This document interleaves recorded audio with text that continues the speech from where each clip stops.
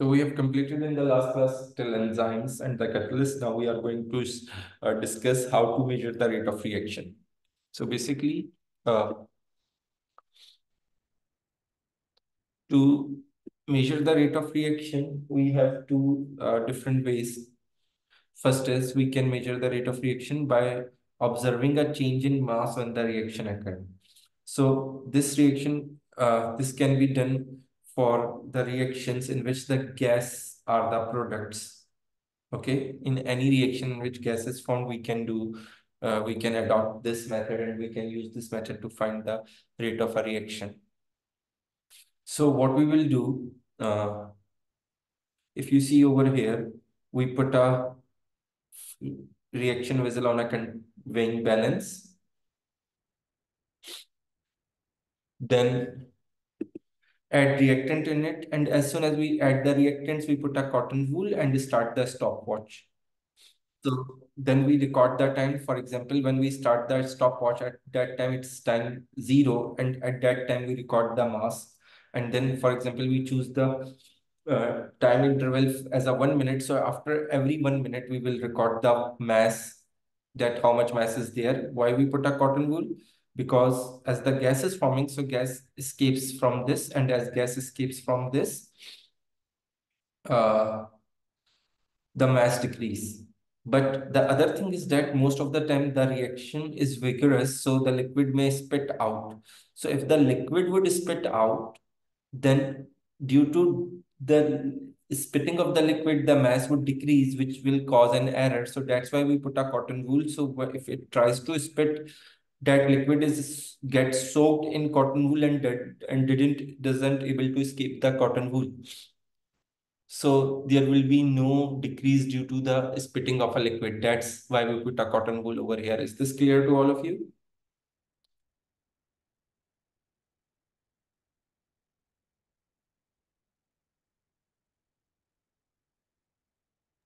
Yes, sir.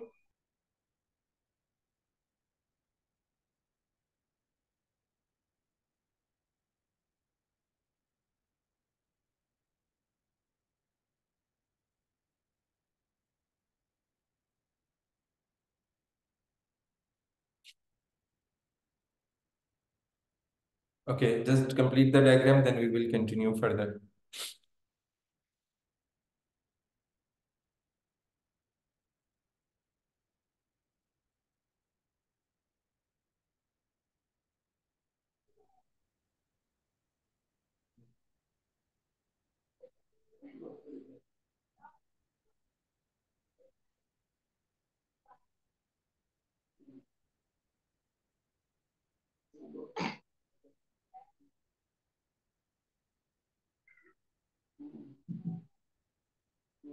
Yeah.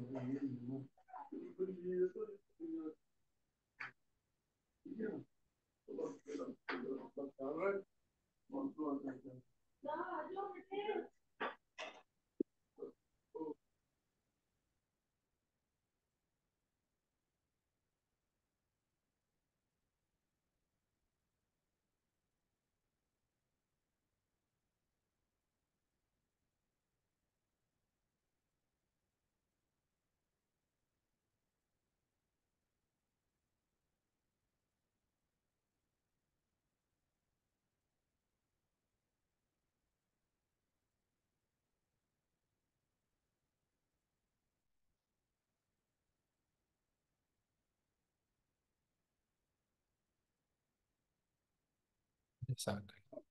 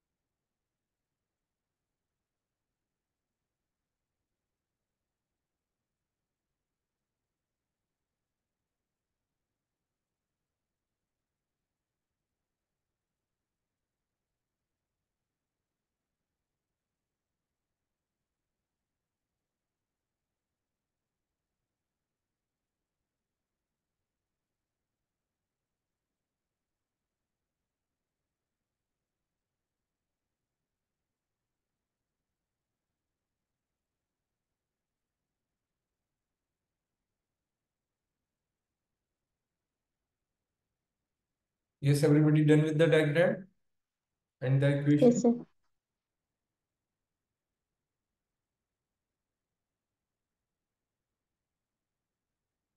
Okay. Sir, I have a question.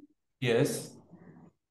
Uh, before starting the reaction, we will uh, note the time or uh, we will like fix the time, like we have to do No, for example, we minutes. start the stopwatch when we measure the initial mass. We, for example, if we are recording the time, like let's suppose we are recording the time in the second and mass in grams.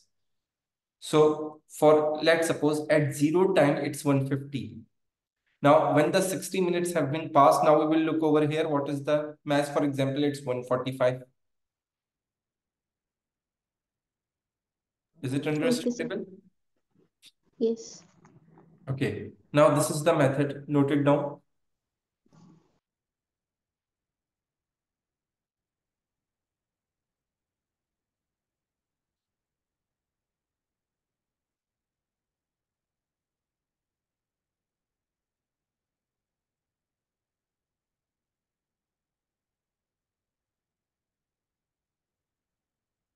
So marble is basically limestone calcium carbonate.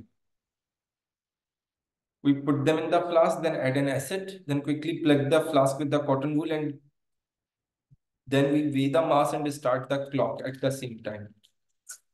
Then at regular intervals, we record the mass until the reaction is stopped. How we could, how would we know that reaction is stopped? That the further decrease in mass is stopped. It indicates that the reaction would is stopped, and as during the reaction the gas is escaping, so the mass decreases gradually.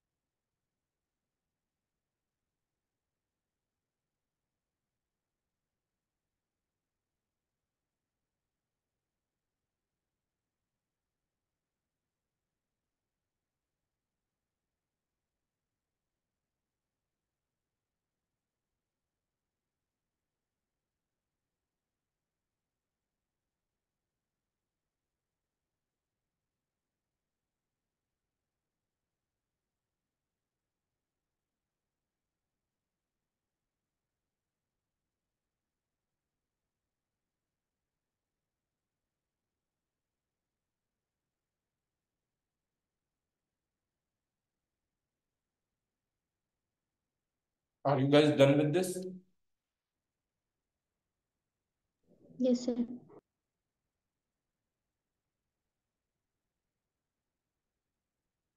Okay.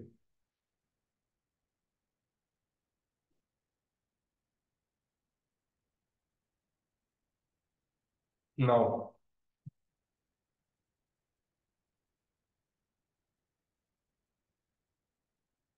we have another method where we uh, observe the change in volume of a gas form. So it is again for the reactions in which gases are formed. But now instead of a weighing balance, which we put it over here, we place a gas syringe and as the reaction proceeds, the gas forms and collected over here, which pushes the plunger outward. And as a result, the gas is collected and at, as it's graduated, it has a scale. So we are able to record the mass of gas formed during the reaction. Is this understandable? Yes, sir. Now we'll discuss the method. First, complete the diagrams, please. Sir, can you please repeat that again?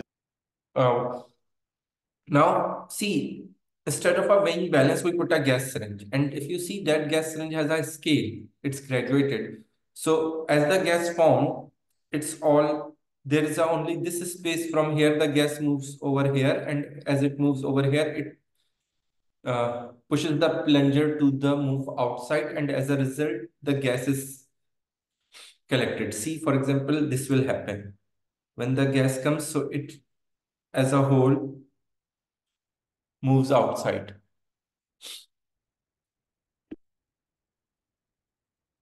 Okay. So we are able to record the volume of the gas which is formed during the reaction.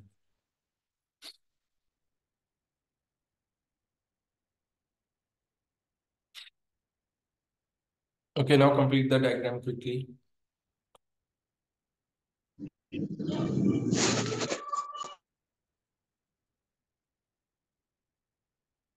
Assalamu alaikum,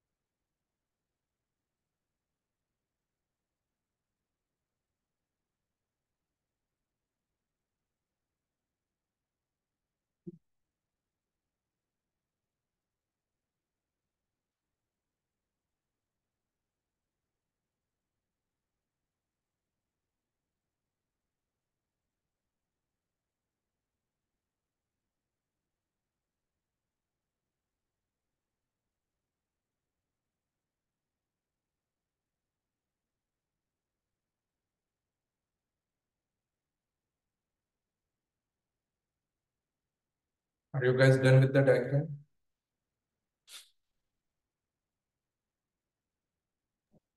Yes, sir. Yes, sir. Okay.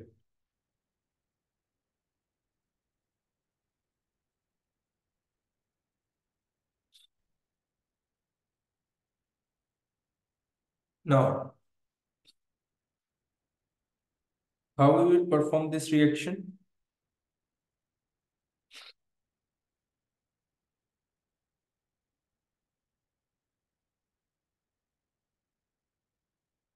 We put a dilute hydrochloric acid in the flask for this reaction.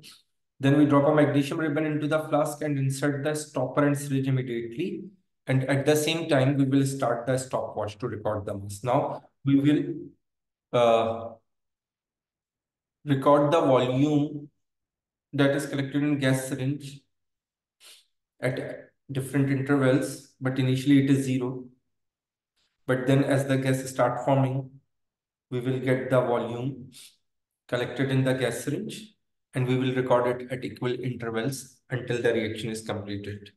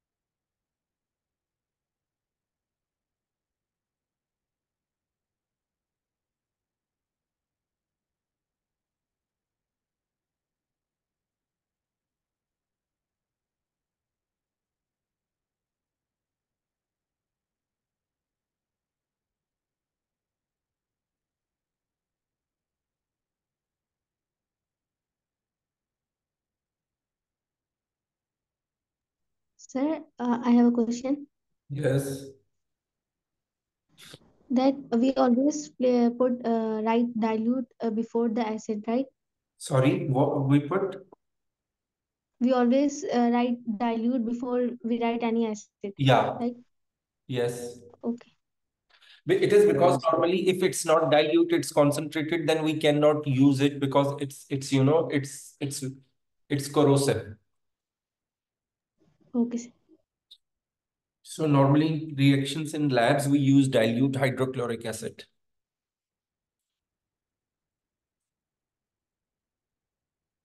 Sir, done. Okay. Yes, Khatija and Aisha, are you guys also done?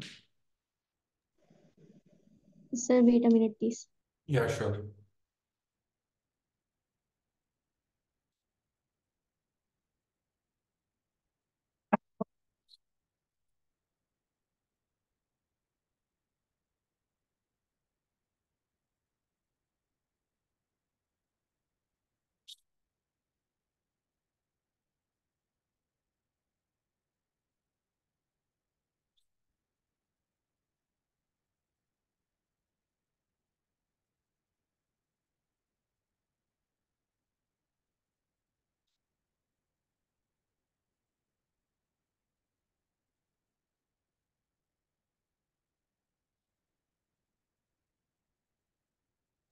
Done, sir. Okay, yes, Aisha, are you done?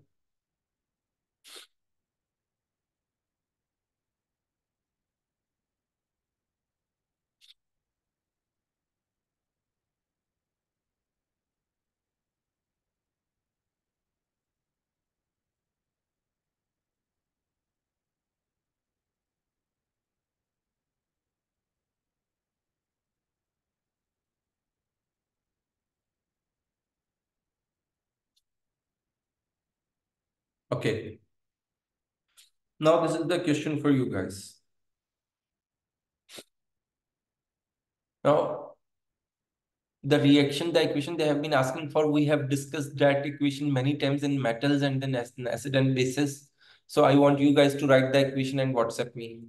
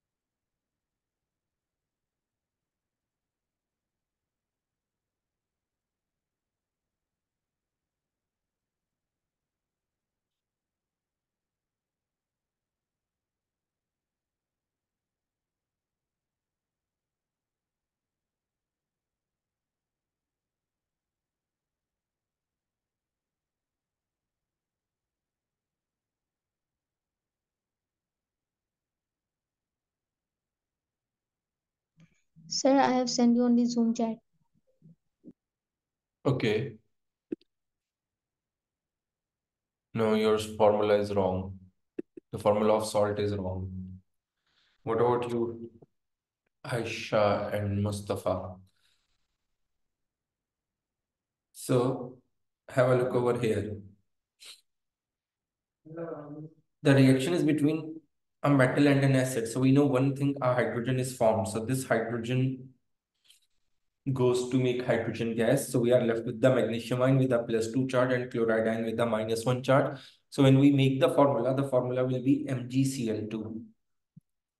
Right? So you always need to work on the charges of ions to make the correct formula. Otherwise, you guys will do the mistake. Is this clear? Then as there are two chlorine and two hydrogen, so we'll put a 2 over here. Okay. Now, can anyone tell me how we will make the graph? Yes, Allah ka shukar aap bataएं. Yes, so the graph would be like this. For example, uh, initially it's line A at a specific temperature. So obviously in, initially the amount of the reactants would be higher. So the amount volume, the gradient would be higher for the formation of volume, for the formation of the gas. And when the reaction ends, it turns horizontal. Is this clear? Now in part two, if you see, they ask Yes, you carries out the experiment at a lower temperature, all other conditions are remains the same. So on axis above, draw the line to show how the volume of gas produced with this time and label line this line B. So see, it's a lower temperature. So we just lowers the temperature and we didn't do anything else. So it means that the amount of product formed will be the same, but obviously it's as a, there is a lower temperature. So the gradient would be the lesser and finally it also goes, uh, the same volume will be formed. Is this clear to all of you? yes, sir. Okay. Complete this, then we will discuss further.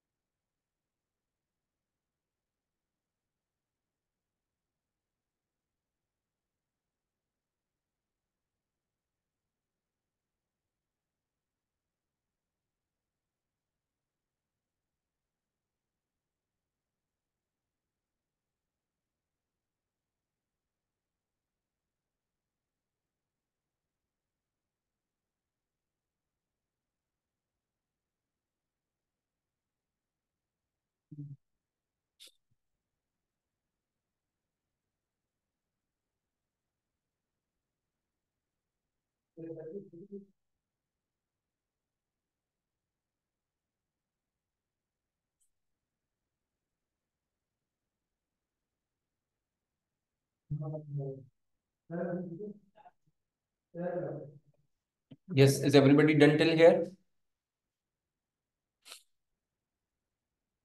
Yes, sir. Is Khatija and Aisha? Okay, Mustafa. Yes, sir. Okay. Now have a look at this question.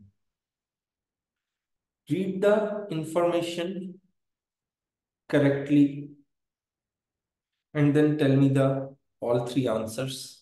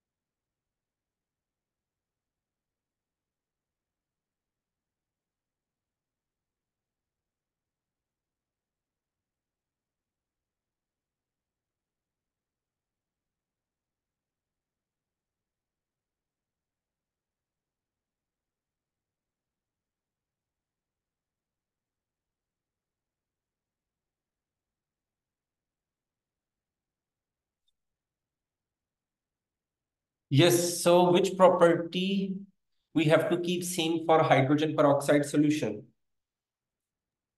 Temperature. No, temperature would be same. We are not changing. We are not heating, not cooling, right? So it's the same. What we have to do, we have to change the concentration of the hydrogen peroxide solution, right? In the first statement. So it means if we are changing the concentration, we make sure that every time when we use the hydrogen peroxide solution, its volume would be same. Is this understandable? Sir, can you please explain again? Yeah, obviously. See, for example, if I'm using 100 ml, 100 centimeter cube of a solution in the first experiment, and uh, it's of some concentration, and in the second experiment, I'm using a different concentration solution, but I will make sure that the volume of the solution would same. I always use 100 centimeter cube of a solution, isn't it? Yes. So the volume, if the if the concentration is changing, then we would take keep the volume of the solution same. Now for manganese peroxide, what would we keep the same? It's a solid, right? So for solid, Mass. Yeah, very good. We keep the mass same. Okay. Now, what is the purpose of the cotton wool? As I have discussed earlier, we put we use the cotton wool to make sure that no spitting of the liquid would take place. Is this clear? Yes, sir. Yes, Aisha and Mustafa. Hello? Ji, sir. Okay. Now, if you see here, they have shown you the graph, then they are saying that why does the balance reading decreasing during the experiment? So we know the balance reading is decreasing during the experiment as in the reaction, the hydrogen gas is forming, right? So the gas is forming and the gas is escaping from it. So that's why this mass is decreasing. Then why does the slope of the curve indicates about the reaction? It indicates that the rate of reaction decreasing gradually. Why? Because if you see from here, the gradient is greater and here the gradient is smaller and even here it gets more smaller. The, the gradient of the line is decreasing as the reaction proceeds. So it, if it's decreasing, which means the rate of reaction also decreases. Is this clear? Yes, sir. Sir, इसमें mass का नहीं बताएंगे? No, what they are saying? No. See, they, they are saying that balance reading is decreasing. So it's it's understood if the balance reading is decreasing, so the mass is decreasing, right? Yes. Now they are saying that slope of curve, what slope of curve is indicating? So see the slope of curve is initially it's higher, it's greater and as the time passes, it gets smaller. The slope, the gradient gets lower, isn't it? So the change, the decrease in gradient, the, the decrease in the slope is indicating us that the rate of reaction is decreasing. It means the rate is getting slower as the time passes. Is this clear?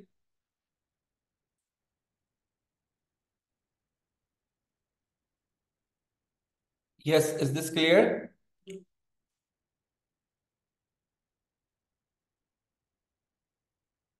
If there is any confusion, please ask. Yes, Khatija, Aisha and Mustafa, if you guys have any confusion, please ask. No, sir, it's clear. Okay. Now what they are saying, how long does the reaction takes to complete? So it is ending at 10. So it doesn't mean it's 10. You have to look for the line, for the point where the line becomes straight. So if you see the line gets straight from here, so it's 8 minutes. So I'm going to write 8 minutes. Is this clear? Yes, sir, clear. Okay. So our this chapter is completed. I have shared this PDF in the WhatsApp group as well. So in the next class, we are going to start with the reversible reactions, okay? And the next class will be after the next weekend on Tuesday and Thursdays. So it means that today is 11th, right? So Yes. Yes. on 17 and 18, we are, are not going to conduct the classes and we will starting from the next Tuesday, not the coming Tuesday, from the next Tuesday. And then again, we will have a same time and dates, Tuesday and Thursdays from 4 to 5, right? Hmm. Okay, sir. Okay, take care everyone. Allah Hafiz. Okay. Allah Hafiz. Allah Hafiz.